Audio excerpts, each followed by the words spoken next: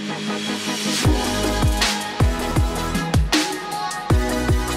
there, I'm Brandon Shope with the Wilmington Police Department, the communications specialist. Joining me right now, we have a very special guest here in our brand new studio here at the WPD. We've got Mr. Eddie Buffaloe. He is the uh, Secretary for the North Carolina Department of Public Safety. Sir, thank you so much for joining us. Thank you for having me, sir. Yes, sir. Yeah, well, it's good to be here. I mean, obviously, so today you're here for the uh, new virtual response unit. WPD is launching that. Uh, ha have you gotten a sneak peek of that yet? Hey, I think that's great innovation and great vision on behalf of Chief Williams and the staff here at Wilmington Police Department.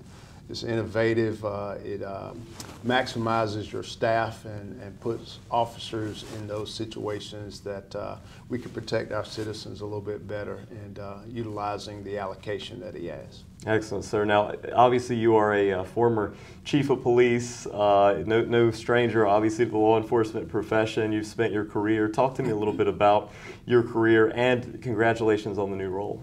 Yeah, I started my career as a correctional officer with the Department of, of Corrections back then, uh, some 30 years ago, and been blessed with this opportunity to be appointed as the DPS secretary by, by Governor Cooper, and uh, this is my 30th year in law enforcement and public safety.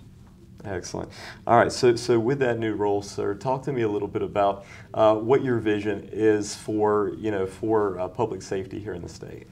Well, my responsibility is not only the DPS secretary, but I'm the Homeland Security Advisor to the governor. So I'm here to pre prepare, prevent, and protect and safeguard the, all citizens and infrastructure within North Carolina. And it's a collaboration with all 100 county sheriffs and all police departments in North Carolina to include uh, our community corrections and our um, adult corrections, juvenile justice, emergency management, highway patrol, state ALE, uh, all of those facets of public safety. So you've got a lot going on, right? Yes, sir. There's, a lot going on. All right, excellent. All right, so when it comes to southeastern North Carolina here, you know, in the Wilmington area, what are your uh, your primary goals for, for, for our part of the state here? I think our primary goal with DPS is collaboration to make sure that we're prepared uh, when things of, of critical nature happen, whether it's a, uh, natural disaster, man-made event, uh, violent crime activities, to make sure that there's great collaboration among state, local, and federal partners. And uh, that's why I'm here today as a, as a collaborator and a partnership in, in this new innovative way of technology and to make sure policing is uh, thrust into the 22nd century. That's right. That's right. I like that.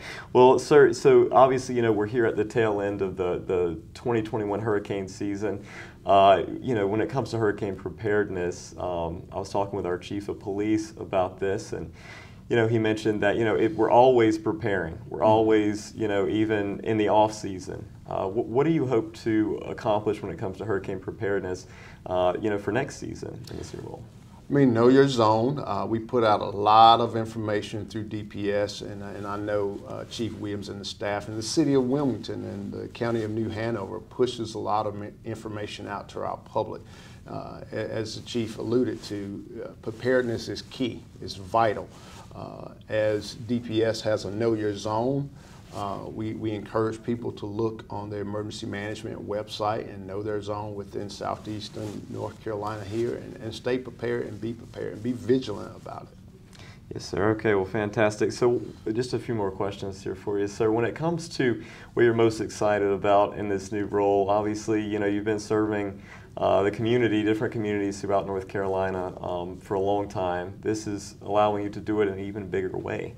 Um, what are you most excited about? I'm excited about uh, putting uh, different ideas like here in Wilmington, the virtual call center. I'm excited about sharing that information, not just in southeastern North Carolina, but throughout all 100 counties to, to talk about new collaboration and partnership ways to make our citizens safe, our 10.4 million people that live in North Carolina and so eh, I'm excited about that opportunity to collaborate with law enforcement and public safety across this state. Yes, sir. Well, well, that's that's going to be a, a, great thing for sure. And and when it comes to you know the Wilmington Police Department, what do you you know obviously Chief Donnie Williams has a, a great vision you know for our department here in Wilmington. What do you see, you know, about WPD maybe that could be used in other departments around the state? I mean, you know, I, I feel like uh, the department here has is, is a model department, really.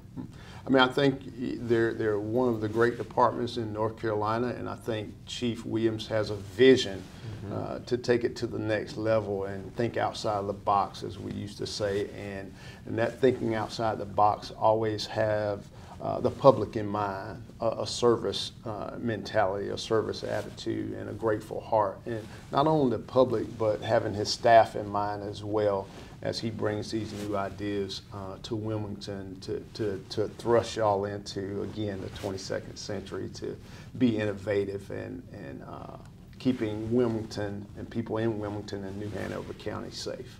Excellent. Well, former Chief Buffaloe, now Secretary of Buffaloe, sir. Anything else you'd like, you know, the community here to know? No, I appreciate the opportunity to be in New Hanover County today in the city of Wilmington and, and look forward for great things in the future and anything that DPS can do to, to aid in those efforts, please give us a call. Yes, sir. Well, thank you again, sir, for joining us. I really do No, appreciate it. Thank you.